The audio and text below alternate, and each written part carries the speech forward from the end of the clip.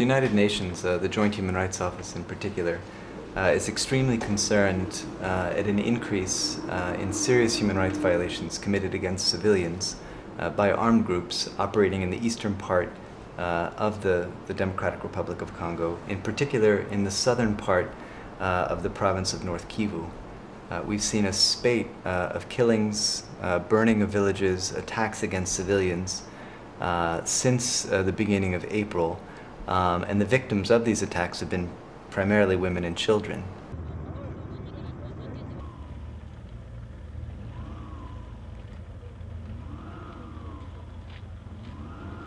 Our teams have uh, documented serious human rights violations through attacks in uh, at least 45 villages, very likely more. Some of these villages have been burned in their entirety. Um, there have been uh, thousands of civilians displaced uh, due to the attacks, uh, and our uh, investigators have conducted dozens and dozens of interviews with victims, some of whom still still bleeding, uh, very recently attacked by one or another of the, the armed groups.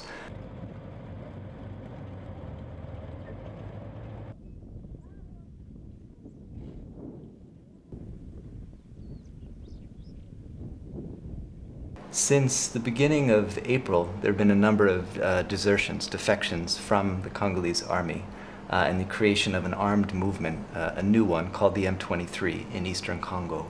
Uh, with these defections, um, has, uh, and the creation of a new armed movement,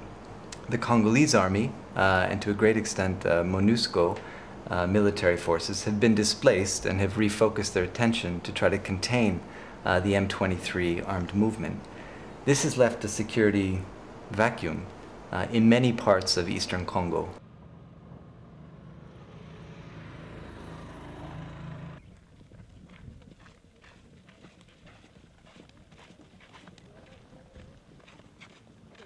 What we're seeing in many of these uh, provinces and remote areas are armed groups taking advantage of a security vacuum to expand their territory,